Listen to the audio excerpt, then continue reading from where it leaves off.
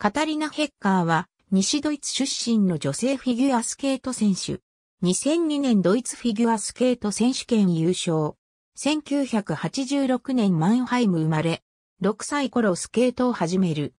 1999から2000年シーズンのドイツフィギュアスケート選手権にて14歳で4位に入り、翌2000から1年シーズンに地元ドイツ開催の ISU ジュニアグランプリブラオエン、シュベルター杯に出場。また世界ジュニアフィギュアスケート選手権ドイツ代表となり6位の成績を収める。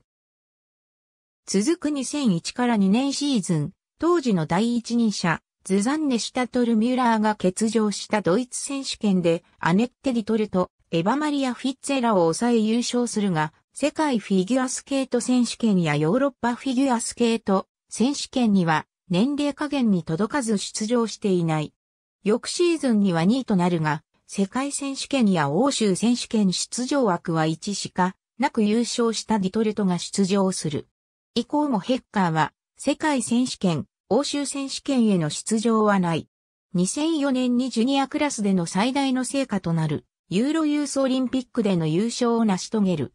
しかし怪我の悪化により2005年には競技を離れることを余儀なくされる。2シーズンの休養の後、2007年に国内外の競技会に復帰する。ありがとうございます。